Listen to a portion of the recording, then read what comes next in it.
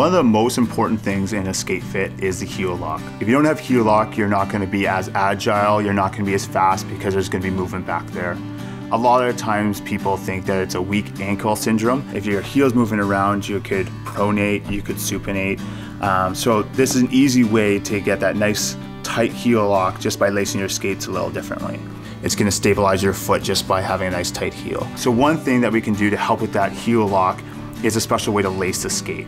Um, so we're gonna lace down to where almost the bend starts in the skate, so the fourth eyelet down.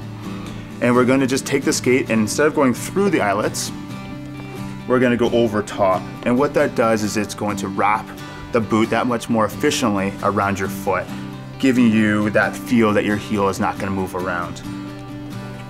It's gonna feel exactly the same as if you lace it the other way.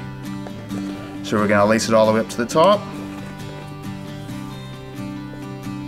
So you can see where we went over top instead of through.